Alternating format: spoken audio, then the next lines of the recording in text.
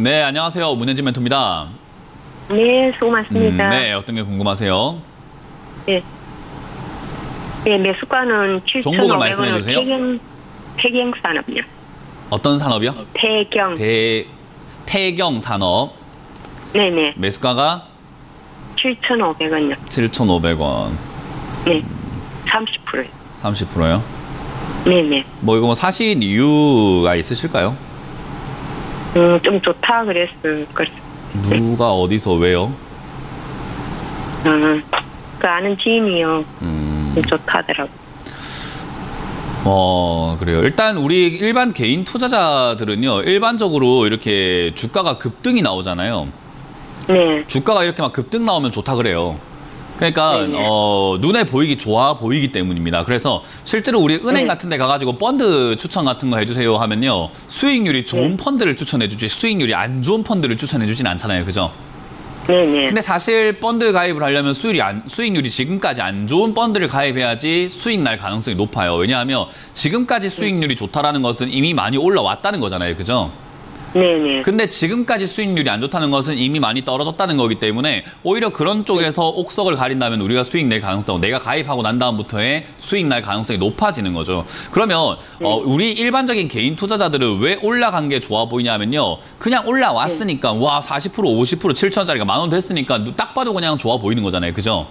네네. 그래서 좋다고 그러는 거예요. 이게 이제 제, 네. 어, 최근에 주가가 급등 나왔던 게 맥신이라고 해서 뭐 꿈의 신소재니 뭐니 뭐 그런 이야기 하면서 급등이 나왔는데 한, 어, 네. 일순간 그냥 진짜 단기 테마일 뿐인 거고요. 이 네. 기업이 좋냐 나쁘냐로 했을 때 그렇게 나쁜 것도 아니고 좋은 것도 아니고 진짜 어, 애매모호한 그런 기업이라고 생각하시면 돼요. 왜냐하면 어, 우리가 좋다라고 했을 때 이 기업이 주가가 어, 우상향으로 계속 올라가고 있는 기업이기 때문에 가격을 조금 아래쪽에서 사놓으면 좋다라는 거죠. 그러면 얘가 움직이는 범위라는 것이 분명히 있을 텐데 그 범위를 보면은 5천원대부터 해서 9천원대까지 왔다 갔다 하면서 이렇게 움직이는 그런 모양새를 보여줬단 말이에요. 아래쪽에서 보면은 네. 여기서부터 이렇게 올라가면서 포- 변동폭이라는 게 있단 말이에요.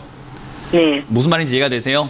네네네. 그러니까 밑에서부터 올라갈 때 그냥 이렇게 일직선으로 올라간 게 아니라 오르락 내리락 오르락 내리락 하면서 변동폭을 가지고 있다는 건데 그러면 얘가 우리가 지금 이 변동폭 안에서 아래쪽에 사는 게 유리하기 때문에 좋은 기업이든 안 좋은 기업이든 그건 중요하지 않습니다. 그냥 싸게 사는 게 중요한 건데 지금 이 가격 지금의 현재 이 7,500원 가격은요 싼 것도 아니고 네. 비싼 것도 아니기 때문에 시청자님한테 좋은 기업이 될지 안 좋은 기업이 될지는 애매모호하다 이 말이에요. 저는 제 생각에 안 좋은 네. 기업이 될 가능성이 높아요. 왜? 손실나면 안 좋은 기업처럼 아. 보이잖아요.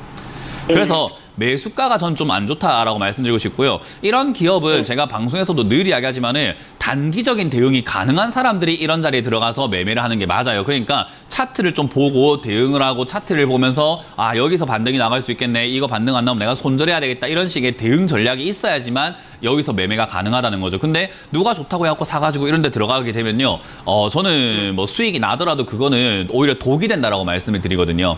그러니까 이 종목이 지금 여기서 갑자기 뭐 맥신 이야기가 끝난 건 아니기 때문에 또 한 번 더 이야기 나올 수 있어요. 그러면 거기서 갑자기 여기 상한가를 간다든지 급등이 또 나올 수 있다 는 건데 그렇게 수익이 난다고 하더라도 시청자님은요 왜 수익 났는지를 몰라요. 그러니까 지인이 좋다고 해서 수익이 난 거구나. 그럼 지인한테 또 추천받아야지 하다가 결국 그러다가 결국 어떻게 되냐면 번 것도 다 날려먹어요. 네. 무슨 말인지 이해가 되세요?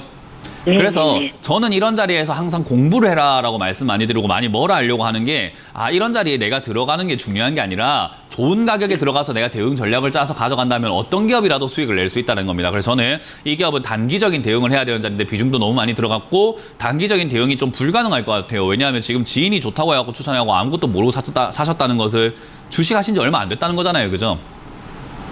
그러니까 거의 초보자 수준이라고 봤을 때 이런 자리는 지금 위험할 수 있습니다. 그래서 저는 지금 오늘 바로 비중을 줄이기를 추천드릴 거예요. 비중을 한 절반 이상 줄이기를 추천드리고요. 어, 여기서 내가 팔았다고 올라간다고 해도요. 차라리 저를 욕하세요. 그냥 이거는 지금 이렇게 투자하는 것 자체가 잘못입니다. 그래서 뭐 수익이 났네 안 났네가 중요한 게 아니라 이렇게 매매하면 안 되는 거예요. 그래서 저는 여기서는 일단 비중을 지금 시장에 높- 시청자님의 비중이 너무 많기 때문에 절반 줄이자라는 의견을 드릴 거고요. 보통 이게 빠지면은 7천 원쯤에서 반등이 나갈 수는 있거든요. 네.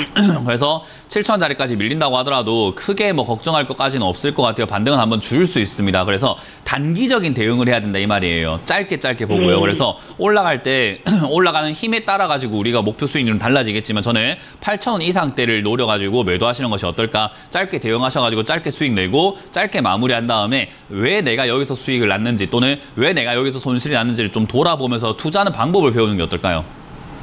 네. 네, 지금 좀 그게 맞는 것 같아요, 저는. 네. 그래서 단기적으로 한- 대응하자는 전략을 드려보고 지금 비중 줄여라는 전략을 드릴게요. 네. 음, 네, 고맙습니다. 추천을 한다면 딴, 딴걸 한다면 네, 뭘 그런 그런? 태도로는 주식할 수 없습니다. 주식에 그냥 오늘 다 파신 다음에 절 그 전략 매도하신 다음에 그 현금을 주식 계좌에서 바로 빼버리세요. 지금은 투자하실 만한 단계는 아닌 것 같습니다.